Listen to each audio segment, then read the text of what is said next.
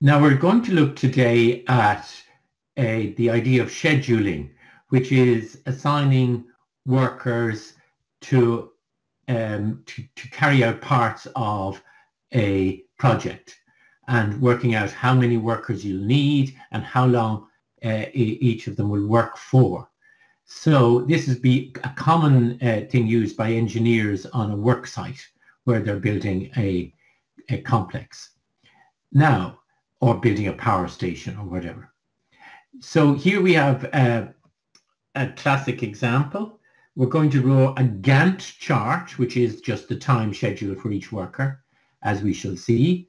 And uh, here is the project. And we have various um, activities. Now, activity A, I'm just going to work out the total float for each one, as we saw in, the, in one of the earlier um, videos. The total float for A is 9, take away 0, take away 6. 9, take away 0, take away 6, that's 3. And that means it has a float time of 3. In other words, it could start 3 hours, 3 days late, and still the project will be on time. On to B, its total float is 12, take away 0, take away 12. 12 take away 0 take away 12 is 0. So it is a critical activity. C, uh, the total float is 8, take away 0, take away 7. That's 1. D, 14, take away 6, take away 5. That's 3. E, 20, take away 12, take away 3, which is 5. Uh, F, where is F? 13, take away 12, take away 1. It's 0, so it's a critical activity. G, 13, take away 7, take away 5. 1. H, 20, take away 12, take away 6. 2. And I, 20, take away 13, take away 7. 0. So the critical activities are the ones with total float of 0, B, F, and I and the critical path from start to finish is B followed by F followed by I. Um, B, B, F, I is the critical path. Now, what is our Gantt chart? Our Gantt chart is simply to write down where each activity may start and may end. And we use a time scale of 0 to 20 because this takes 20 days. A starts at, at zero and runs to six. So here's, oh, let me, sorry, sorry, we start with the critical path. B uh, starts at the beginning, it takes 12. Here's the critical path. It takes, B takes 12. So I do 12 boxes, each representing a day. There's B, followed by F, which takes one, followed by I, which takes 7. They have to take place straight along in one after the other um, because that is the critical path. So that's the first one. Now, A. A starts at 0 and runs to 6. So here's A, 0 to 6. That's A. But it has a float of 3. So that six, that, that um, box of length six can float up and down anywhere in there at our convenience uh, if we wish. The dotted line represents the float and A could start as late as 3 and run up to uh, 9. Yeah, up to 9. That's correct. Next is, apart from, is C, which starts at uh, 0 and runs for 7. 1, 2, 3, 4, 5, 6, 7. There is C, but it has a total float of 1. That appears there, uh, uh, added on to C. D, where does, where is D on our uh, chart. It starts at 6 and runs for 5. D starts at 6. It cannot start uh, uh, any earlier than 6 and it runs for 5 days, but it has a total float of 3. So it could start three days later and with the project will still be on time. E, um, it starts, the earliest it can start is after 12. So there's 12. Its length in time is 3. So there it is. But it has a total float of 5. So we put 5 boxes onto it. And it could start later if it's convenient for us. F is a critical path. It's been dealt with already. G, the earliest G can start is at 7. So here it is. 7 is there. And it runs for 1, 2, 3, 4, 5. 1, 2, 3, 4, 5. There's G. What about its total float? It's just 1. So it could start 1. It could, that box could float forward 1.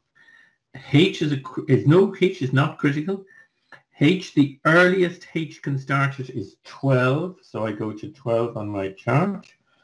And it has a length of 6, so it's 6 boxes long. And what about its total float? It is, from the chart above, 2. So there is the, that is the Gantt chart for our uh, all our activities. Now, there's another question. The question asked is, at midday on the 15th day, now if the first day is from 0 to 1, the 15th day is from 14 to 15. So here is midday on the 15th day. There are two questions. What activities must be happening on that day, at that moment, and what activities may be happening? So I'm going to write down what activities must be happening. Well, I must be happening. I has no float up and down because it's a critical path. It's a critical activity. Uh, D couldn't be happening. It must be over by then. E could be happening, but you could slide E up along. You could float it up. That's why you can see the idea. So E might be happening, but it, then again, it might not. So E will qualify for the second one. Uh, G uh, could not be happening. So the only other one is H. And even if we move H up two, it will still be happening. So E, uh, uh, sorry, H must be happening there. If we slide H forward, it will still be in action halfway through day 15. Whereas E could slide up, so E might be happening and I and H must be happening. That is our first Gantt chart. Now we start scheduling, which means using a specific number of workers to do our job. We have to assign each job to workers and there are rules about this, that there's no sharing. Once you've started an activity, you must finish it. Uh, and if there's a choice of worker, you assign the worker who's free first.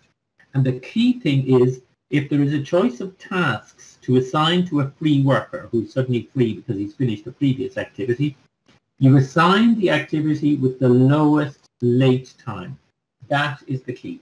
It is important that there are often more than one way of solving this problem. We used to say there's more than one way of skinning a cat, but I don't know if you can say such dreadful things in modern, in the 21st century, um, with all those cat lovers around.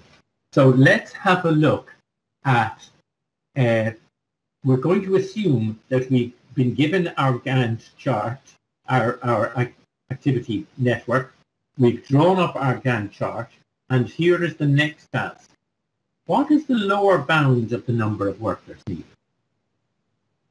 Well, I'm going to add up the time for A. This is this is the chart here. A and B and C. I'm adding them up 10 and 9 and 11 and 11 and 4 and 2, 1, all the way up. You get that the total number of total amount of time is 10 hours. And the critical path is 30 hours. So we can do this, conduct all of this in 30 hours. So how do we work out the lowest path, the, the lowest bound? If there are 110 hours of work to be done, and the most any one person can do is 30 hours, because one worker, there are only 30 hours available. So if we, uh, any one worker can do that, uh, can at most do 30 hours.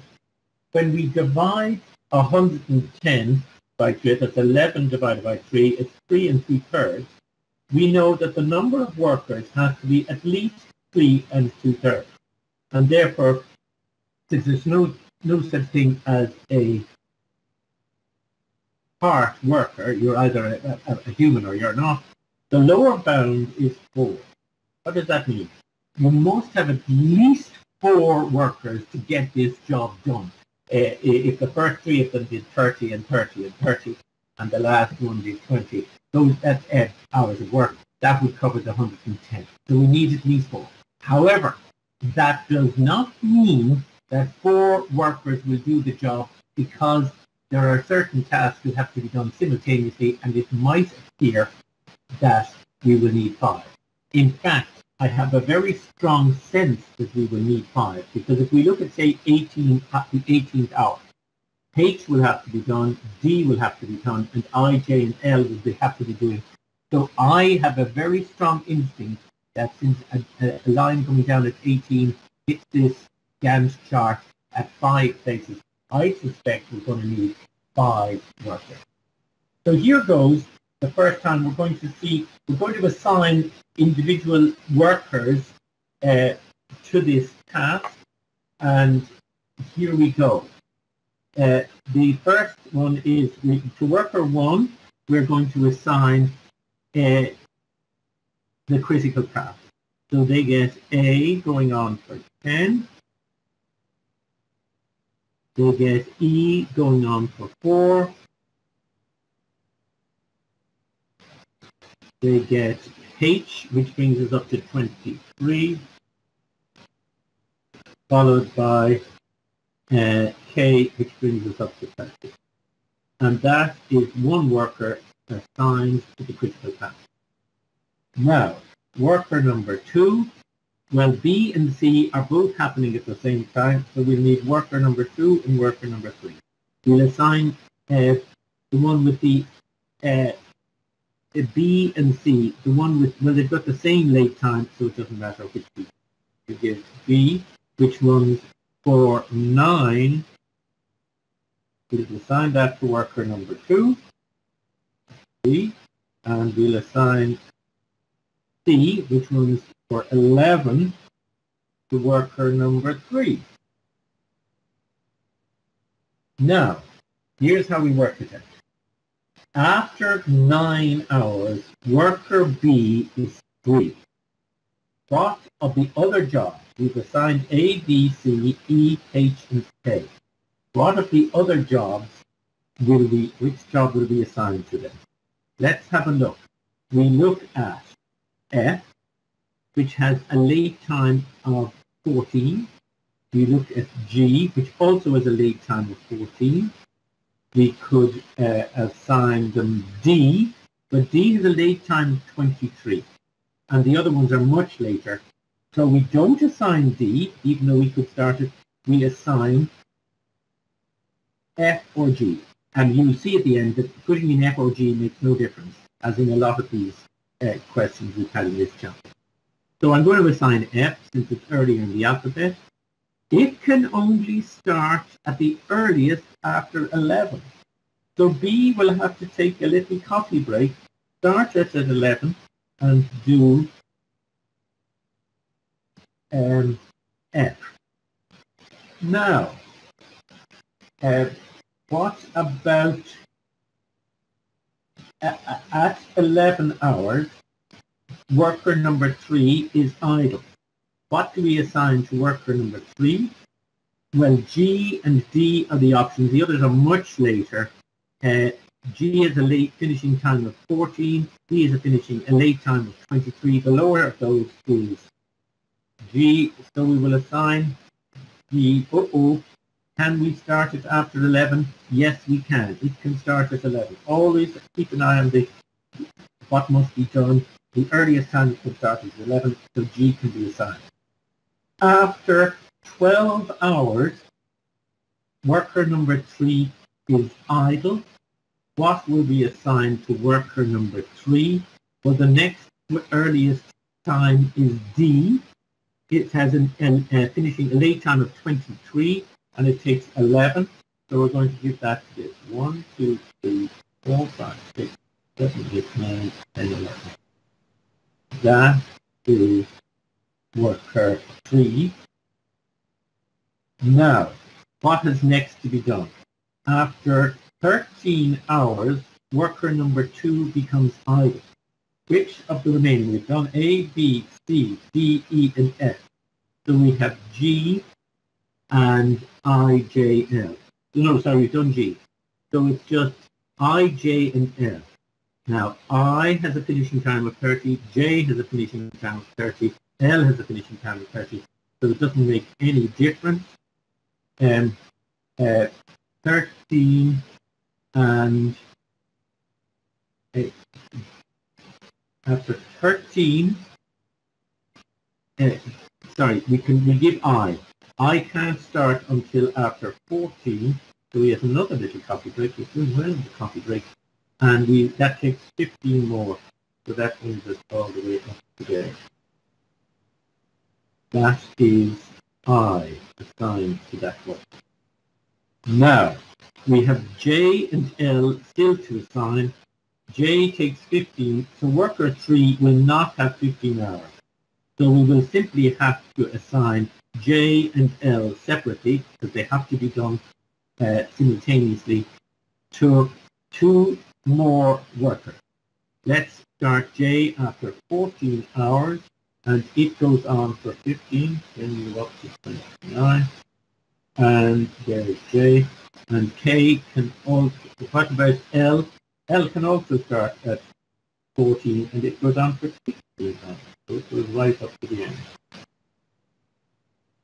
And there we have our um, workers assigned. If you want, you can color these in. I only stating them in them look much clearer.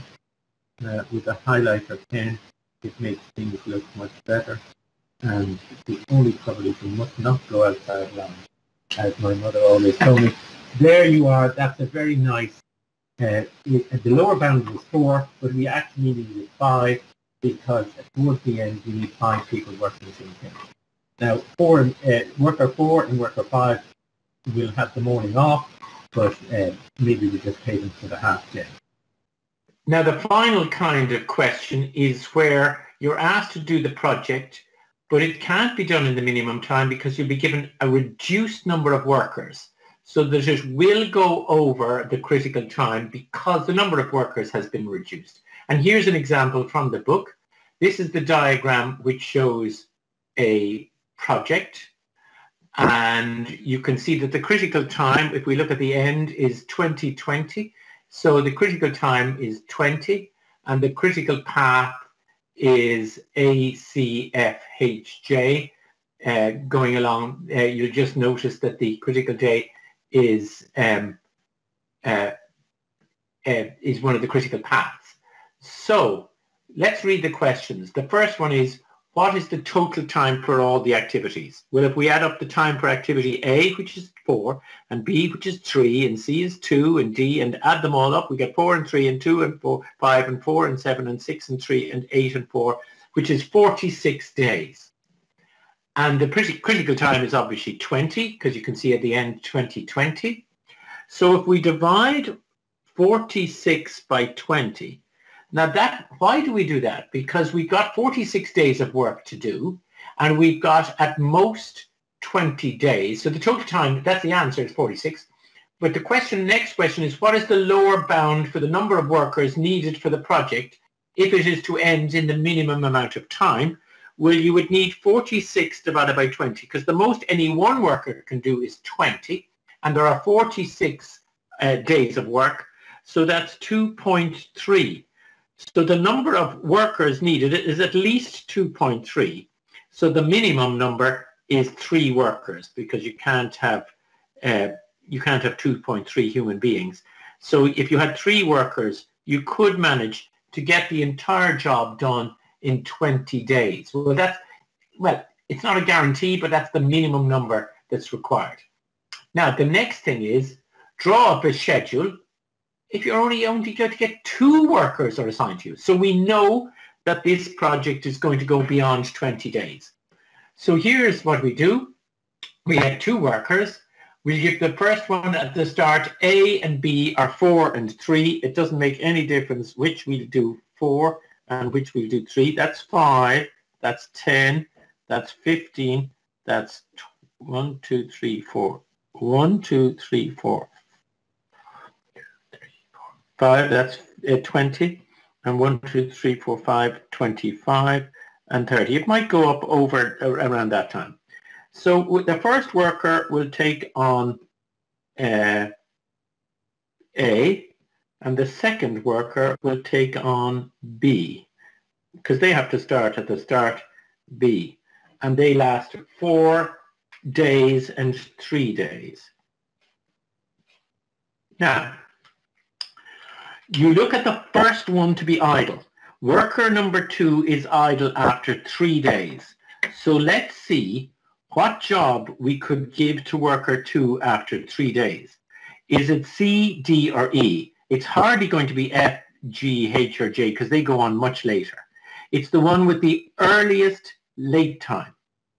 So uh, C cannot begin after 3 because C can only begin after A has finished. So it couldn't, it couldn't start that one. Nor could D. D cannot start straight away, but we could start E straight away, and E takes four uh, days. So we'll give it E because E has the earliest late time and it can start straight away. So we'll give it E which is the only one we can start straight away, and that takes four days. One, two, three, four. E has a duration of four. So that would be economical. We'll give that to worker number two.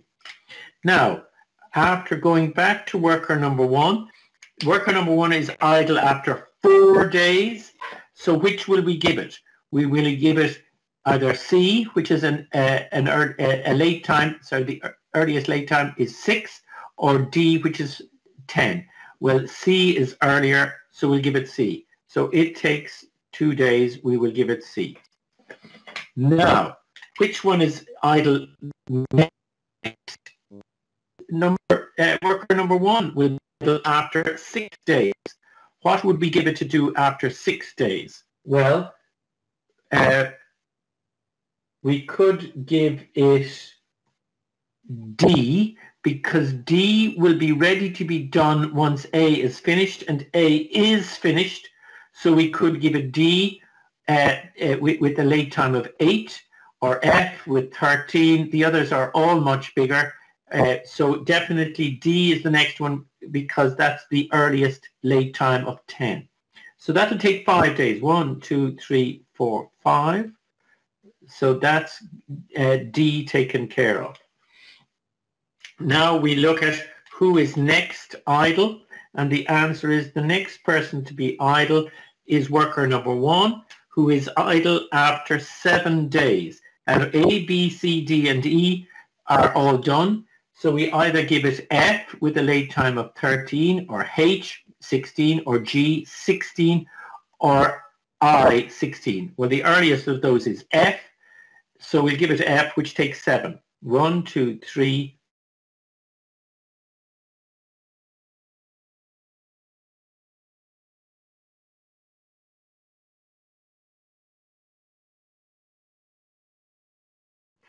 So F takes seven. So let's go back and take the earliest time uh, when this becomes idle. That's worker number one. That worker number one is idle after a time of 11. What will we give it? Well, A, B, C, D, E, and F are all done. So we could give it G with an early time of 16, H with an early time of 16, or I with an early time of 16. So they're all the same. So we just give it G because it's in alphabetical order. And G has a duration of six. One, two, three, four, five, six. G is the next one. Now, we will give F, uh, worker number two was idle after 14. We can see that's 15, so this is 14. Will be assigned H or I? Well, H and I both have an early time of a late time of 16.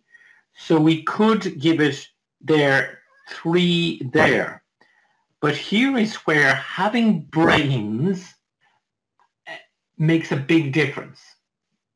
Because J has to finish after both I and H. So you could regard I and J, I and J have to be done one after the other. So supposing I, if I gave, it, it, look at it like this, I and J have to be done in succession, so they might as well be done by one person, and they come up to a time of 12. So who would you give, the, the other assignment is just H. Because I and J are going to take 12, and have to be done in a row, we'll regard that as a 12 bar bar of chocolate. And we will give that to the one with the earliest time, which is worker number two. I'm going to give worker number two I followed by J because J has to follow I. So here I go with worker, that's going to be I, which is eight, one, two, three, four, five, six, seven, eight, followed by J, which is another 4. I and J have to follow one another. So J can't finish until I is finished. So I, this worker is going to do I followed by J. And the other worker is going to do the H, which just takes three hours. Try it yourself. If you want to try this at home yourself, um, you will find that you can't do it quicker than doing I and J. If you give the first one H, you will get into a tizzy with the other two because J will be waiting for I to be finished and we'll go on further. Further than what? Well, the ending for this job is 26 days. We can do this job in 26 days. That's the minimum number of days with two workers. And that is the rota or the assignment, the schedule for those two workers. There's the assignment for a worker one, and there are the assignments for worker two. There is no other way you can get it done earlier. Try it yourself. You, you'll see that because J is waiting, it won't work. And that's the third kind of question where you have a restricted number of workers and it takes both intelligence as well as a routine. Thanks very much.